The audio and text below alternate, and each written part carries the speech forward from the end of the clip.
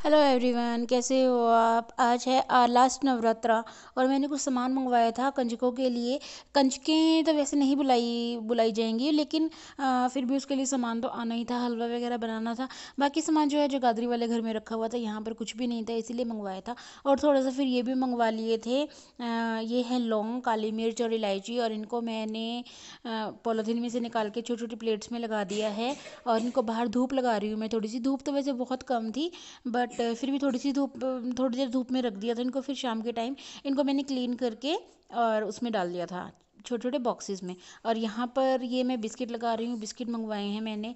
पीहू बहुत खाती है बिस्किट और फिर एक साथ ही मंगवा लिए थे ये कि डेली डेली तो फिर शॉप पे जाए भी नहीं जाएगा, अब एक ही बार जाने देंगे वैसे भी।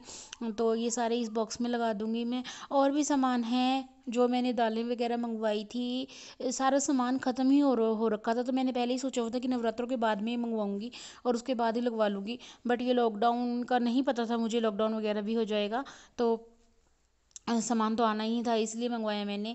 और ये देखिए, मैंने दाल मंगवाई है, ये है चने की दाल और ये है उड़द उड़द की दाल, ये काले चने और ये है छोले और मूंग की दाल, मसरी की दाल और राजमा। और ये सारे मैंने ना ऐसे ही एक बॉक्स में डाल दिए हैं, बड़े वाले डिब्बे में रख दिए कंटेनर में, क्योंकि ना मेरे पास छोटे छोटे बॉक्सेस नहीं हैं अभी इतने यहाँ पर और वहाँ रखे हुए हैं। दूसरी किचन में सारा सामान है ही। तो अभी तो हम मैनेज कर ही रहे थे आधा सामान यहाँ का और वहाँ का, उससे पहले ये सब हो गया। पहले शादी थी मतलब उसकी वजह से मैं आई थी और फिर यहीं रुक गई। और ये थी सूजी, मैंने इसको पहले ही छान लिया है और अब मैं इसको एक बॉक्स में डाल दूँगी। बॉक्स क्या है? ये लंच बॉक्स है एक। तो ये मतलब जब मैं जॉब करती थी तब के हैं तो ये वेस्ट ही पड़े हुए वैसे किसी काम नहीं आते। तो मैंने सोचा कि इनमें यही डाल के रख लेती हूँ यूज़ तो होंगे, चलो किसी तरीके से। और इसके बाद मैं छान लूँगी बेसन, और बेसन में भी मतलब साफ़ ही थी दोनों चीज़ें, कुछ भी नहीं था कबाड़ा उसमें, पर फिर भी थोड़े से मन को तसल्ली हो जाती है कि हाँ कुछ नहीं था। और इसको भी मैं बॉक्स में भर के रख लूँगी। और बेसन का तो बॉक्स था मेरे पास, खाली हुआ हुआ पहले से ही तो इसको मैंने डाल लिया। और जी यहाँ पर मैं कर रही हूँ पीहू की ऑयलिंग और इसकी बनाऊँगी चोटी और फिर उसके बाद ये करेगी मेरी ऑयलिंग और बनाएगी ये मेरी चोटी।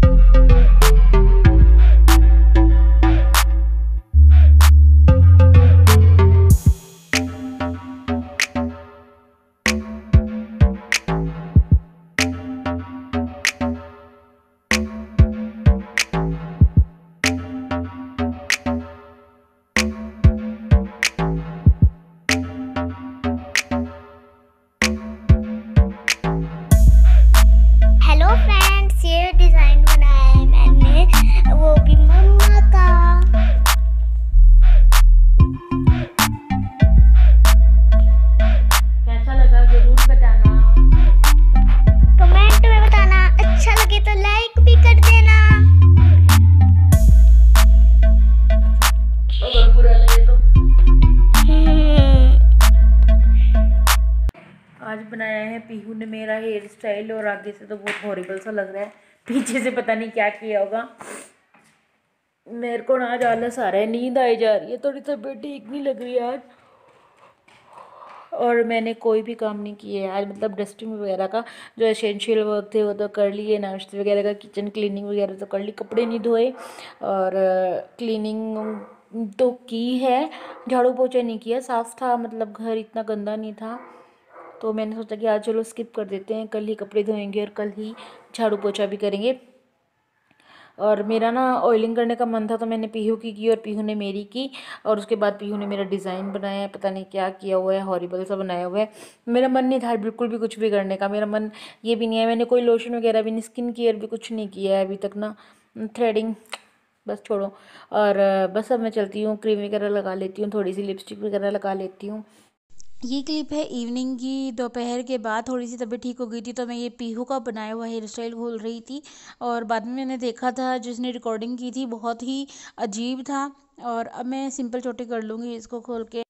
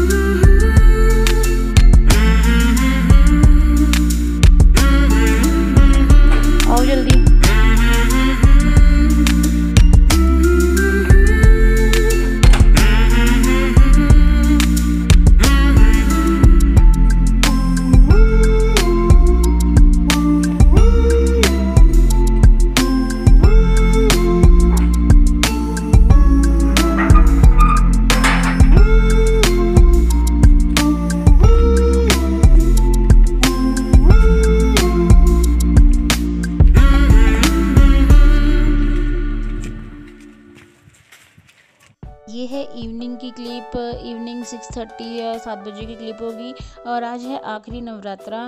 तो मैंने इस बार ना खिचड़ी नहीं बनाई थी मतलब उन्हीं सामक के चावलों की। तो मैं आज सोच रही थी कि वही बना लेती हूँ। और यहाँ पर मैं घी डाल रही हूँ, इसमें जीरा डालूँगी। हम वैसे ग्रीन चिलीज़ यूज़ करते हैं, लेकिन जैसे अदरक वगैरह डालते हैं तो उसमें मिक्स करके ना पीस लेती हूँ। आजकल अदरक वगैरह नहीं डाल रही हूँ मैं, सब्ज़ी में पीहू नहीं खाती है बिल्कुल भी। और हरी मिर्च भी नहीं खाती, इसलिए मैंने थोड़ी सी ना काली मिर्च ले ली है।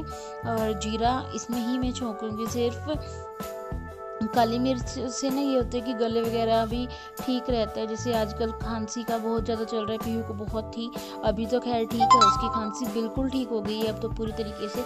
और ये सब हुआ है अदरक और शहद की वजह से। उन दोनों को, वो उन दोनों को मिक्स करके अदरक का रस और शहद की वजह से ही इसकी खांसी चली गई है।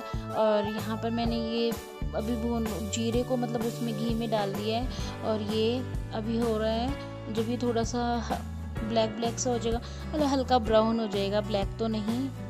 उसके बाद मैं इसमें डाल दूँगी पोटैटो जो मैंने कट कर लिए हैं, तीन चार आलू पहले ही कट कर लिए थे।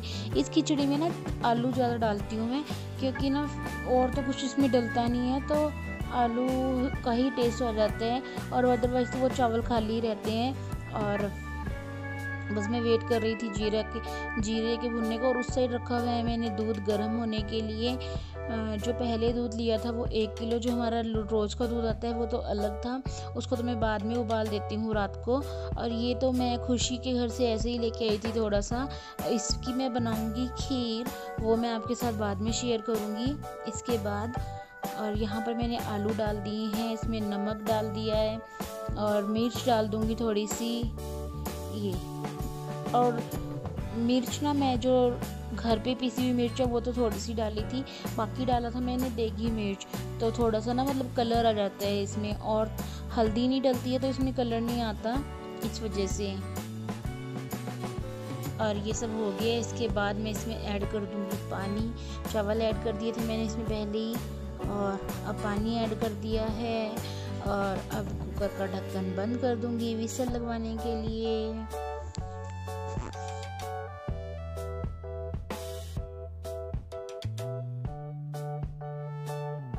और ये डिनर वगैरह के काम से फ्री हो गए थे। उस टाइम पर ये जो दूध मैंने आपको दिखाया था, इसको मैंने गर्म कर लिया था दोबारा से और इसमें चीनी डाल के मिक्स कर ली थी। मतलब इस टाइम पे ना दूध पीने का टाइम था, लेकिन दूध नहीं पिया था, पीने का मन नहीं था आज। तो इस वजह से मैंने ये चलाई की खीर बना ली थी। चलाई की खीर क्या बहुत ही ईजी होती है बनाने। कोई भी बना सकता है, इसको आप सब बनाते भी होंगे और किस तरीके से बनाते होंगे मे बी बट ये थोड़ी सी चलाई ली है मैंने। हम तीनों के लिए ही बस की साथ के साथ ही फिनिश हो जाए। बचे ना इस वजह इस, उससे बनाई थी मैंने थोड़ी सी ही। और ये दूध में चीनी को पहले अच्छे से मिक्स कर लेना है और फिर दूध को ना मतलब फ्लेम गैस फ्लेम बंद कर दो और फिर इसमें ये चुलाई मिक्स कर लो, ये बहुत अच्छी लगती है। और आप भी बनाकर खा सकते हैं, व्रत में मीठा है, क्योंकि मोस्टली व्रत जो होते हैं, मीठे होते हैं। और ये चलाई जो थी, भुनी भुनी मतलब भुनी बुनाई थी, पहले तो लेके ना इसको भूनते थे, लेकिन अब तो भुनी बुनाई आती है। तो ये देखिए, मैंने बाद में बंद किया, लेकिन आप पहले ही बंद कर देना गैस, और आप इसमें चाहें तो ड्राई फ्रूट्स वगैरह भी ऐड कर सकते हैं, लेकिन मुझे ड्राई फ्रूट्स अच्छे नहीं लगते, इस चीज़ में डाल के ऐसे ही खा लो, बादाम जो ठीक है, इसमें नहीं अच्छे लगते तो नहीं डाले थे इस वजह से। और फ्रेंड्स, अगर मेरा आज का व्लॉग आपको अच्छा लगा हो तो इसे लाइक ज़रूर कीजिएगा, और शेयर भी कीजिएगा। मिलते हैं आपसे अपने अगले व्लॉग में। और हाँ एक चीज़ और दिखाती हूँ मैं आपको, ये देखिए। ये मैंने बनाई है कान्हा जी की ड्रेस। लॉकडाउन में ही जब भी मतलब टाइम मिलता है मुझे उस टाइम पर। और ये ना ऊन बची हुई थी अलग अलग कलर की तो उससे मैंने ये फ्लावर्स बना लिए। और चाहे तो मैं इसमें बीच में मोती भी लगा सकती हूँ, नहीं भी लगा सकती। और बस इसको डेकोरेट करना बाकी है और ये ऐसे डेकोरेट हो जाएगी। बताइएगा ज़रूर कैसी लगी आप सब। मिलते हैं आपसे अगले ब्लॉग में।